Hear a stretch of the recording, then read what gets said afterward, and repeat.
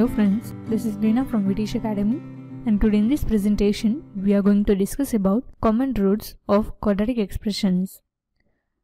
So let me explain this concept with the help of an example over here. So here given that if the quadratic equations ax square plus 2bx plus c is equal to 0 and ax square plus 2cx plus b is equal to 0 have the common roots then we have to show that a plus 4b plus 4c is equal to 0.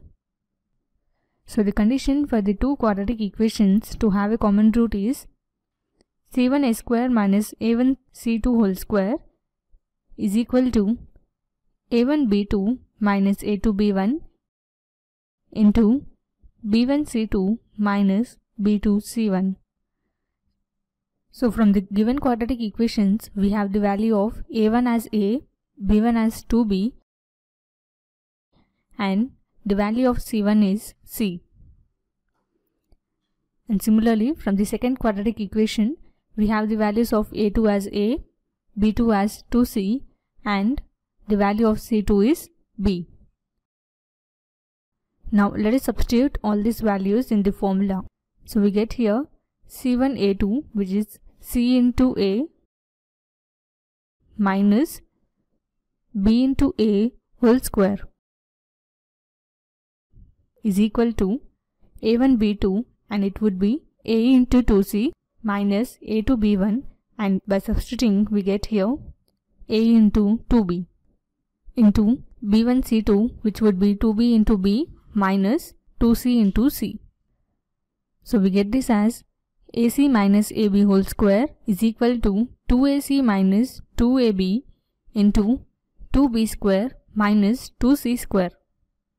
And here in the next step, we can write ac minus ab whole square as a square into c minus b whole square.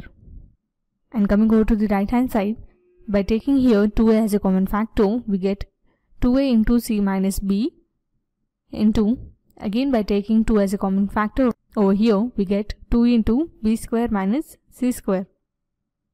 And again, in the next step, we can write this as a square into c minus b whole square can be written as c minus b into c minus b. So we get here c minus b into minus of b minus c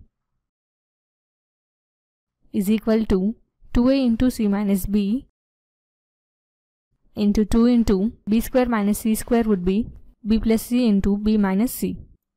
So we can cancel out here b minus c on the both sides. Similarly, the terms c minus b and a also get cancelled on the both sides. And then we get here minus a is equal to 4 into b plus c. That implies we get here minus a is equal to 4b plus 4c. Now let us transfer minus a to the other side. Then we get here a plus 4b plus 4c is equal to 0, which is the required condition. So this was a basic introduction on common roots of the quadratic expressions. Hope you understood the concept. In our next videos, we are going to discuss about maximum and minimum values of quadratic equation. So stay tuned with us. Thanks for watching. Have a nice day.